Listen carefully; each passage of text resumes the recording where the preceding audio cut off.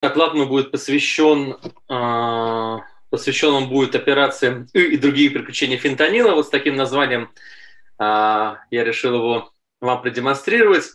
Ну, если вы посмотрите на картинку справа, на этих замечательных героев а, одноименного произведения Леонида Гайдая «Операции и другие приключения Шурика», Примерно, наверное, такое лицо, возможно, у людей, если вы спросите у них, а используют ли фентанил интратекально, эпидурально, или во время индукции общей анестезии. Кто-то, да, будет изумлен, кто-то нет, ну а кто-то, как э, Георгий Вицин, в руках будет держать уже, если посмотреть Уголовный кодекс РФССР, э, РСФСР, ну, в данном случае Российской Федерации, потому что все эти моменты, они сопряжены с определенными законами, с нарушениями, но их мы не будем обсуждать, не в этой лекции, во всяком случае. А, это мой конфликт интересов на этой лекции, его нету. А, немного о опиоидах, да, в данном случае о фентанилах, а, их много, на самом деле, за рубежом, если говорить не о Российской Федерации, есть и фентанил, и альфа-фентанил, и ремифентанил, и суфентанил. Они все разные по длительности действия. Фентанил, э, если сравнить, например, его между опиоидами из группы фентанила, да, то есть не сравнивать с морфином, с предолом, он действует относительно быстро, 30 минут продолжительность действия. Альфа-фентанил а, чуть-чуть э, э, по мощности он слабее, чем морфин, но действует гораздо быстрее и действует кратковременно. Ну, а ремифентанил э, имеет очень короткий период полудения, посмотреть 3-10 минут. То есть после введения через 5, в среднем 6 минут препарата, э, препарат выводится из организма, и, в общем-то, его следы не обнаруживаются в крови. А, единственная важная вещь – это относительно растворимости в липидах. Мы видим, что фентанил, она очень высокая, 580 по сравнению с альфа-фентанилом, ремфентанилом. А именно она именно она обеспечивает а, проникновение, распределение опиоидов в спинномозговой ткани. Поэтому а, за рубежом используется именно фентанил при интратекальном и нейроксиальном ведении, а не такие кратковременные препараты, как альфа-фентанил, ремифентанил. В основном липофильные опиоиды, фентанил поглощается, это транспортируется из эпидурального пространства в системный кровоток, и лишь небольшая часть проникает в ликтор, где уже поглощается, поглощается белым э, веществом спинного мозга. Обсудим сегодня мы э, несколько тем. Это нерексиальное применение фентанила при операции кесарево сечения или англезии родов, общая анестезия при операции кесарево сечения и э, неакушерские операции у беременных. А, сразу хочу сказать, что если вдруг вы увидите вот такой значок, э, зачеркнутый человек с рукой, это значит, что в Российской Федерации использовать эту схему применения фентанила нельзя. Зачем мы докладываем в России, да, те методики, которые делать нельзя, ну, давайте будем надеяться, что завтра утром вы проснетесь или послезавтра а на почте у вас уже будет лежать письмо а, из пресс-центра Ассоциации акушерских анестезиологов, где будет написано, что наконец-то удалось добиться разрешения на интрадекальное или неэрксиальное применение фентанила, и вы должны, в общем-то, знать, э, как, что и в каких дозах вводить, поэтому об этом мы сегодня поговорим. С единственным да, э, оговоркой, что если будет значок, значит использование такой методики, данного метода в данных и данного препарата не разрешено. При операции кесарево сечения, конечно же, фентанил применяется интратекально. Существует очень много метаанализов, обзоров. Я даже не буду тратить время на описание различных исследований. Вот последние метаанализы этого года, а, два больших метаанализа а, говорят о том, что да, интратекальное введение фентанила она снижает потребность в дополнительной Э, интраоперационной анальгезии, снижает частоту тошноты и рвоты, более длительное время до первого запроса в э, послеоперационной анальгезии. И это очень важный момент. Посмотрите, 91 минута в среднем, а максимально да, почти до двух часов удается э, пациентке отложить введение послеоперационного обезболивания. То есть однократное введение фентанила трикаль позволяет после операции в течение двух часов пациентку не обезболивать. Это очень хороший эффект. Именно за счет этого эффекта любят неаксиальное применение опиоидов за рубежом. Не наблюдается никаких различий в отношении необходимости перехода на общую анестезию. Частота гипотонии была одинаковая, начало сенсорного блока и продолжительность моторного блока тоже были одинаковые. Единственное, что смущает, это более высокая частота интерпрессионного зуда, но здесь уже все зависит от человека. Вопрос, что лучше немножко у вас будет чесаться лицо, или два часа вы дополнительно будете лежать без анальгезии, э, без э, боли. Ну, наверное, э, мы больше выберем плюсов этих, чем минусов. Меньше частота возникновения дрожи, что очень тоже важно. Посмотрите, почти на 80% меньше частота дрожи. И меньше частота, частота интраоперационного дискомфорта как раз за счет хорошей интраоперационной анальгезии.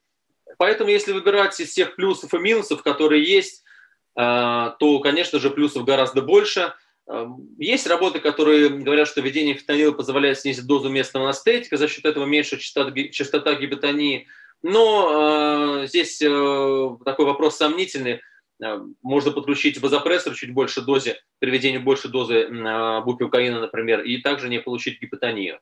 Оптимальная доза фентанила интратекально – Э, который используется за рубежом, это 10-20 микрограмм э, от 10 до 20. Это не значит, что если вводить больше, э, он будет действовать лучше. Нет, при введении больших дозах эффект примерно остается таким же, пока по времени, например, анальгезии или по частоте интраоперационное уменьшение тошноты и рвоты. Единственное, что возрастает количество обычных эффектов. Поэтому оптимальная доза 10-20 практически фентанил тоже применяется не только в исследованиях. Посмотрите, был интересный опрос в Швеции национальный. 32 а, клиники, было 47 клиник опрошено, 32 откликнулись на этот опрос. И посмотрите, в основном доводят фентанил 10-14 микрограмм, реже вводят 15-20 микрограмм. То есть практически эта доза действительно соблюдается, 10-15 микрограмм оптимальная доза для фентанила при введении интратекально.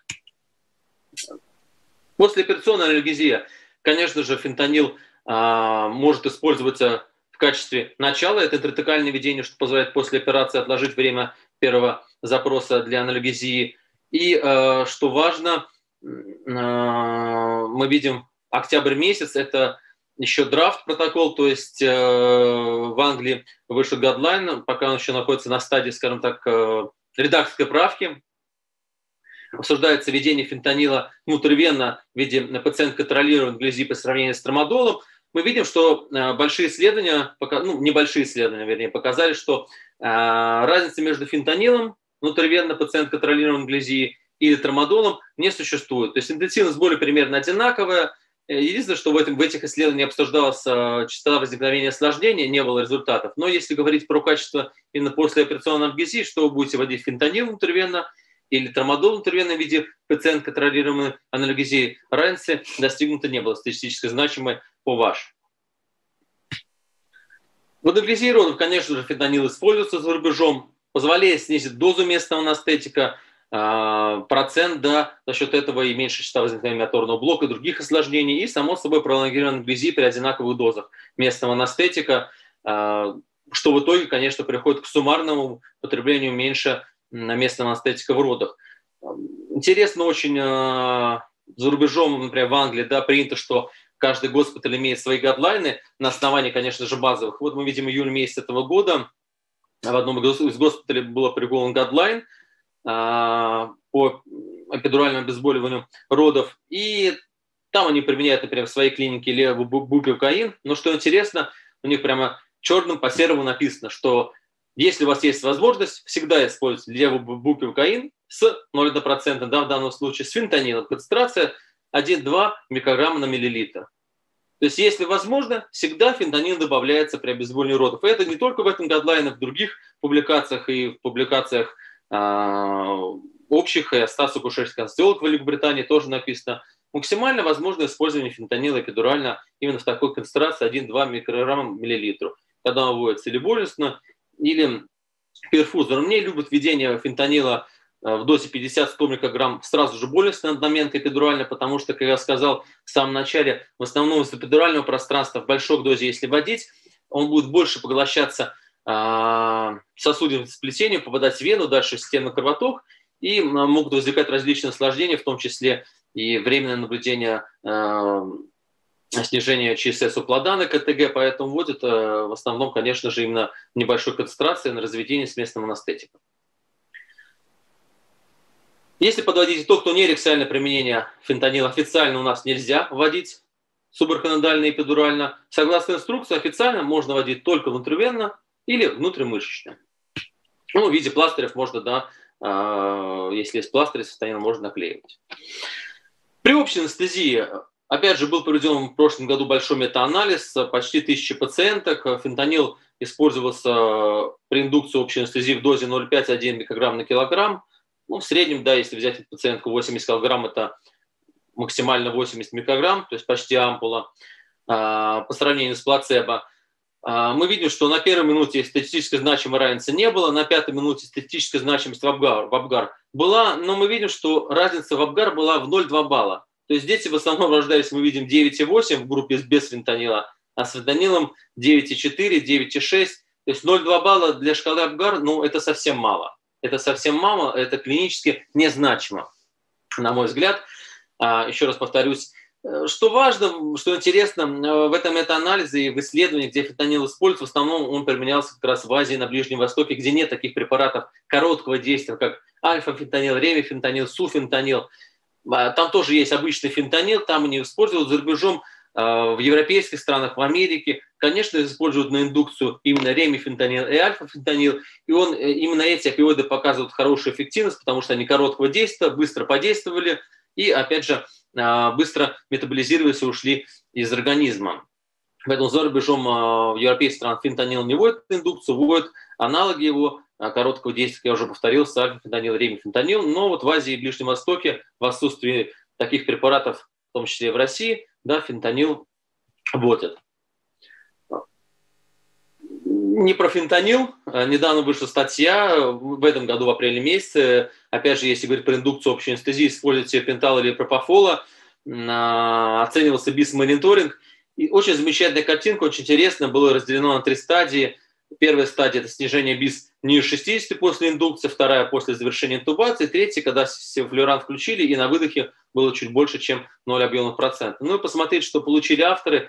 Поначалу, да, к моменту э, БИС, э, когда было ниже 60, э, пропофолофентанил, э, вернее, пропофолотипетал, когда вводили э, разницы э, статистически значим не было, но вот уже к моменту интубации пропофол э, продолжает снижать, снижать БИС где-то около 40, а у тепетал мы видим, происходит, э, если видно мышка, э, происходит повышение уже уровня бисменторика, то есть пациентка просыпается, а к моменту через 30 секунд, даже можно сказать через 10 секунд после интубации, уже бис находится выше 60, то есть пациентка имеет высокие риски интернатложного пробуждения, а на пропополе все еще хорошо. Доза, что важно, тепентала в этом исследовании использовалась 5 мг на килограмм, если раньше в НАП-5 э, говорили, что интернаркозное пробуждение как раз связано с использованием более низких доз, тепентал 2,5-3 мг на килограмм, то здесь даже 5 мг использовалось, то есть максимальная доза согласно рекомендациям и российским, и зарубежным, и все равно этой дозы не хватало, поэтому все-таки за рубежом а, в европейских странах, в том числе и в Англии, а, все чаще и чаще а, переходят пациенты на не пациент, простите, приходят доктора на использование пропофола индукцию. Если говорить о фентаниле, в Российской Федерации существует фентанил двух производителей. Это Московский эндокринный завод и Государственный завод медицинских препаратов. А, об их использовании мы писали в статье Вестник акушерской анестезиологии риск и польза фентанила на индукцию. Что важно, что в этих препаратах, если посмотреть инструкцию, она, в общем-то, похожа между собой, но есть существенные различия. Государственный завод медицинских препаратов пишет, что при беременности возможно только в том случае, когда предполагаем польза для матери превышает риск для плода. А Московский эндокринный завод пишет то же самое, но, что важно, если препарат все-таки был введен, для новорождения необходимо иметь на готове антагонисты опиоидных рецепторов. Вот так вот напрямую написано.